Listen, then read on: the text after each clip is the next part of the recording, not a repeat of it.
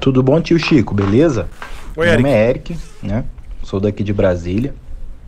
E, tio Chico, recentemente estou tentando comprar um scooter para ir pro serviço, né? Para ir pro trabalho, né? E assim, eu não tenho nenhuma experiência em pilotar moto, né? Entretanto, sou motorista de carro e caminhão. Já tenho 10 anos de experiência nessas categorias, né? Sou uma pessoa de 1,79 de estatura, meu peso é de 85 quilos, né? E o objetivo da compra de um scooter seria para um deslocamento da minha casa para o serviço e vice-versa.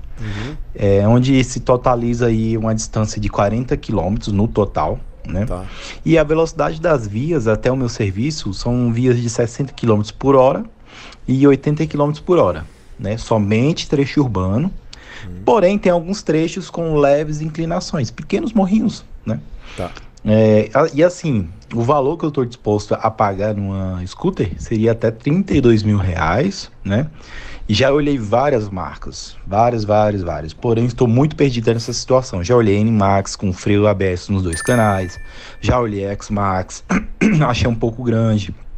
Já olhei a moto elétrica da Volts, a EV1 Sport, já olhei as das Dafra, já olhei a Divi, né?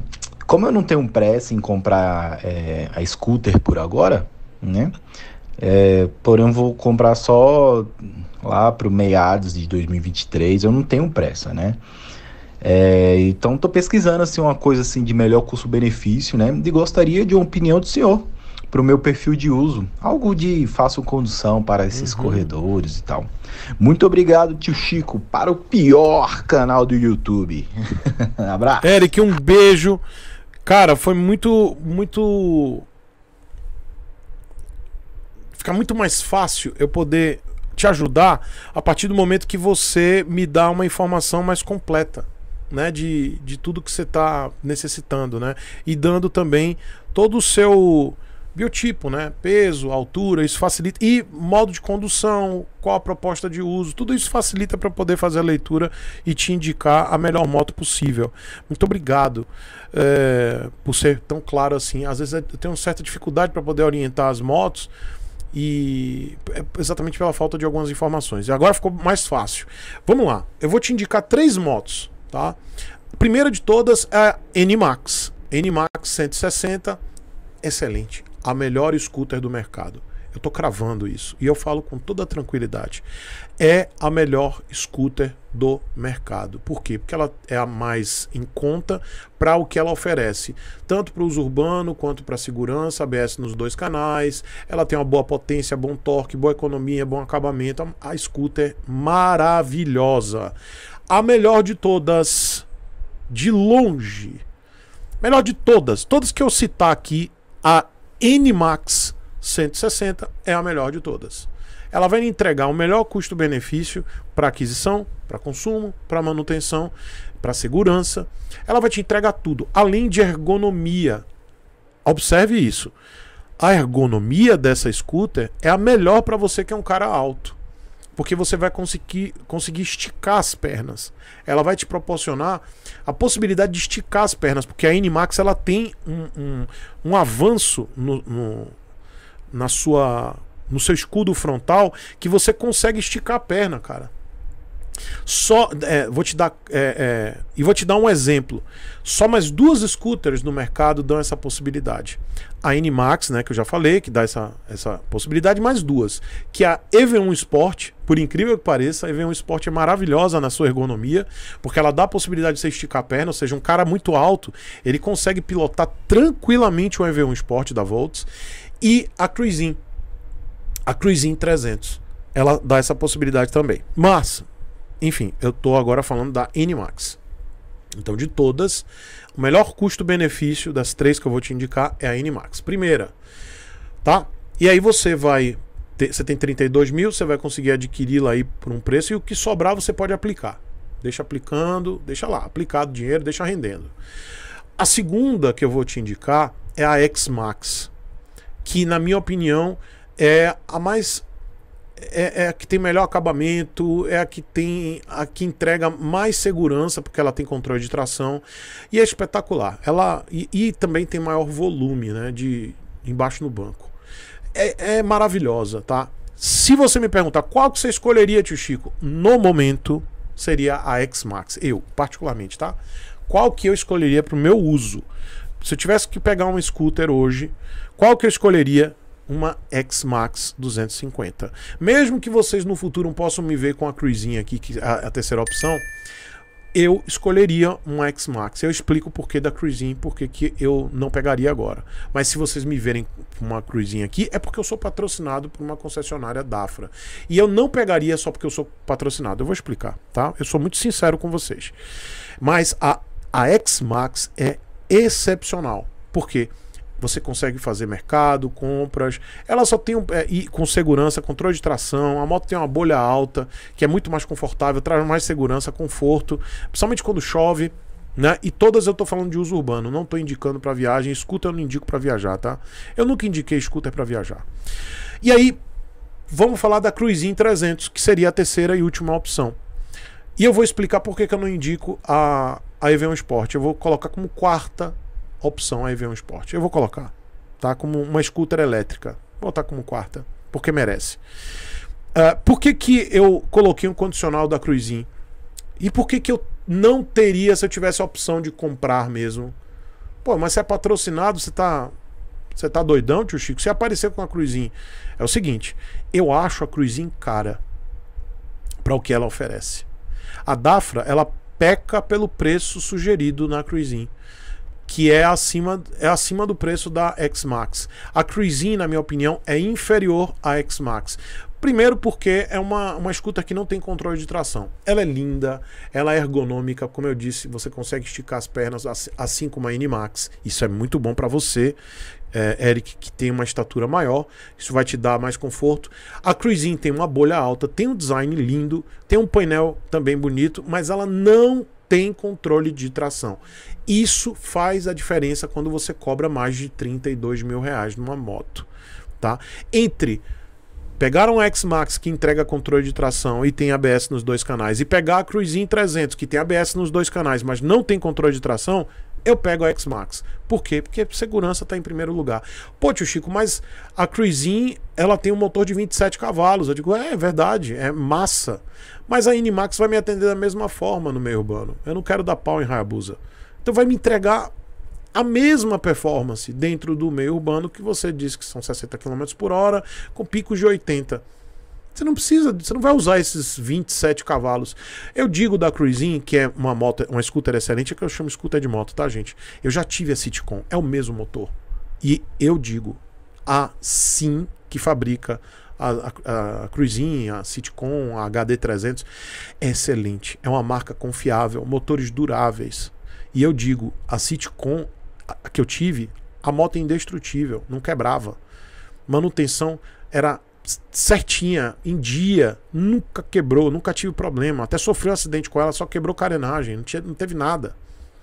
Então eu digo tranquilamente, eu teria a Cruisin, mas se ela fosse mais barata do que a X-Max. Então, comparando os preços, pô, se é para pagar 30, mais de 32 mil numa Cruisin, eu prefiro pagar 32 mil e pouquinho, 33 no X-Max, que vai me dar controle de tração. Se a Dafra cobrasse um pouco mais barato, 30 mil na Cruisin, eu só ia indicar a Cruisin para vocês. Mas a Dafra, ela lançou a moto num preço para brigar com a X-Max. A X-Max é melhor do que a Cruisin nesse quesito. E eu não estou olhando para cavalaria e torque, eu estou falando de segurança. Ficou claro? Ah, tio Chico, você apareceu daqui a alguns meses, você surgiu de Cruisin aí no canal. Pois é, eu sou patrocinado por uma concessionária Dafra. Então, pode ser que surja a oportunidade de eu estar com a Cruisin. Vou indicar assim como eu estou indicando aqui para vocês, vou indicar. Mas se a Dafra continuar querendo brigar de igual com igual com a, a Yamaha, não vale a pena. Eu vou preferir sempre indicar uma moto que tem mais segurança do que e que custa mais barato do que uma moto mais cara que não entrega o mesmo. Ficou claro? Amiguinhos, amiguinhas. Ficou claro, porque se não ficar claro é só voltar e assiste várias vezes, porque eu estou tentando ser o mais claro possível. E eu sei que tem gente que que acha que eu que se eu aparecer com a moto, eu estou me contradizendo. Não estou me contradizendo, eu continuarei falando assim, até que a Dafra baixe o preço e venda mais barato do que a Max, a, do que a X-Max. Aí eu vou dizer, pô, galera, agora a Dafra brocou. Mandou bem. Compra a Cruisin.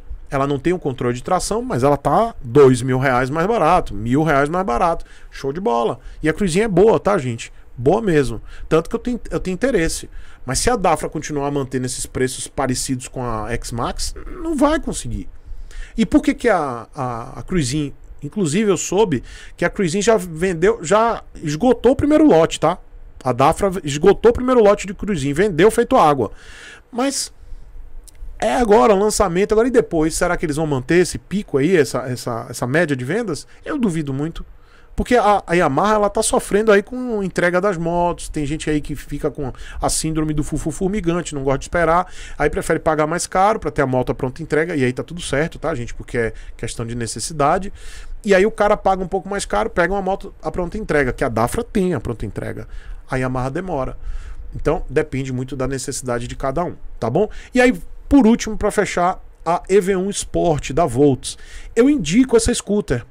Ó, Show de bola. Indico, vou colocar como quarta opção. De todas as scooters elétricas, todas que você olhar no mercado, é a melhor. É a mais bem construída. É a mais bem acabada.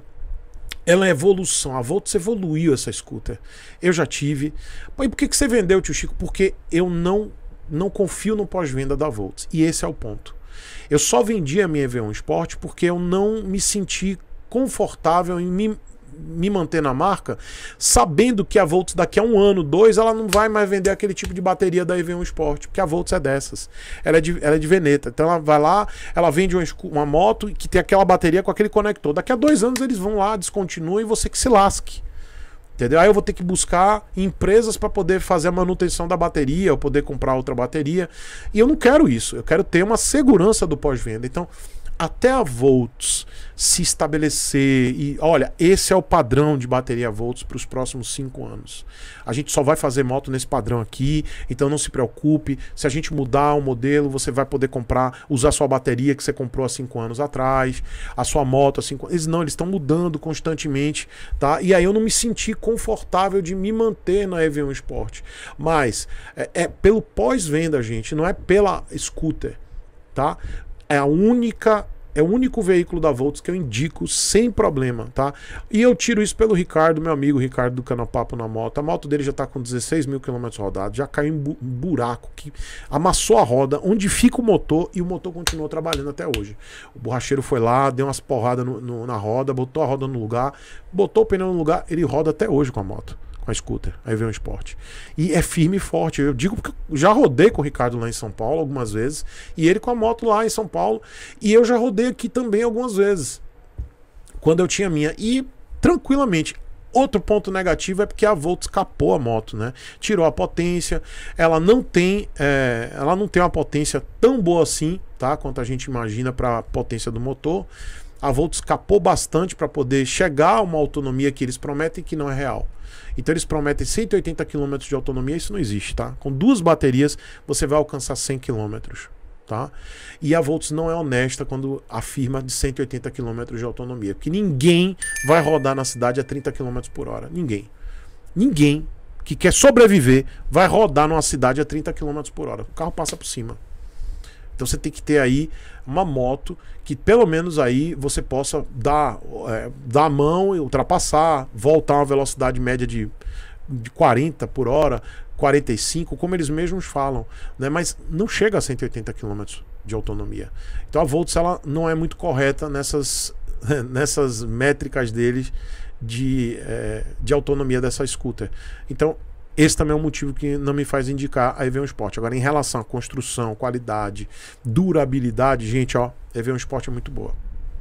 E é isso, viu, Eric? Vai de N-Max, X-Max ou Cruisin 300 da Dafra. Por, nessa ordem. E essa aqui é uma singela homenagem e agradecimento a todos os apoiadores e membros deste que é o pior canal do YouTube. Pessoal, muito obrigado. O nome de todo mundo está aparecendo aqui agora e vai aparecer no final de todos os vídeos desse canal aqui. E se você gosta do conteúdo, quiser se tornar um membro ou apoiador, mas principalmente um apoiador, vai lá no apoia.se barra Chico Sepúlveda. E se você quiser se tornar um membro, toca aqui nesse botão embaixo, seja membro. Muito obrigado.